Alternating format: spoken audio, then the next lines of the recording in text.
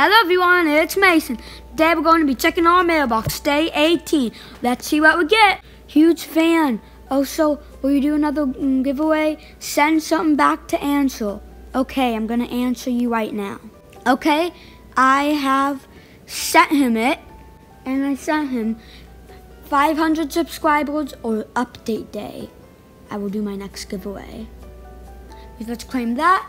And lastly, we got a Speaker, large TV man, and five gems. Minigun Camo Woman, Secret Agent, I found in the trash. Oh dang. It's crazy. But I don't think they're trash to me. I, I like them.